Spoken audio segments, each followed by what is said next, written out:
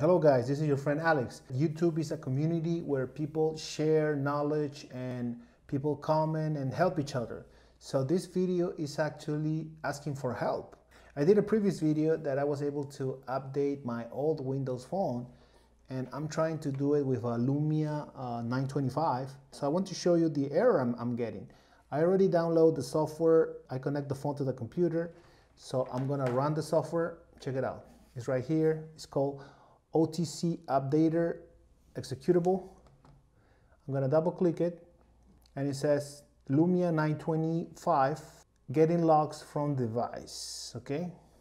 So it's trying to update it. And this is the error that I'm getting. Please let me know in the comments if you know how to solve this. There are multiple root elements, line 2, position 2.